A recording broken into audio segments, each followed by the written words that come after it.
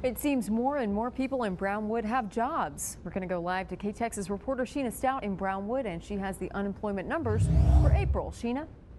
Well, Braid, like much of the United States, the recession has had an impact on Brownwood, but unemployment numbers are finally going down. Brownwood is beginning to see some light at the end of the recession tunnel, and unemployment rates prove that. According to the Texas Workforce Commission, the unemployment rate in Brownwood hasn't been under 6% in three years.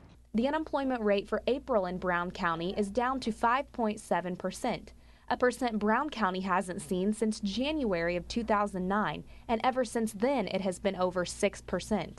So Brownwood has really been insulated, uh, although we have been impacted by the recession, we have not been uh, imp impacted quite as heavily. There are several agencies in town that offer their services to those who are looking for a job, like Workforce Solutions. We spoke with Executive Director of the Brownwood Economic Development Corporation, Emily Crawford, and she says the primary job openings are in healthcare and metal fabrication companies. Because of the oil boom, there's a demand for more metal workers. Crawford says the lowering unemployment rates are a good indicator of the stable economy in Brown County.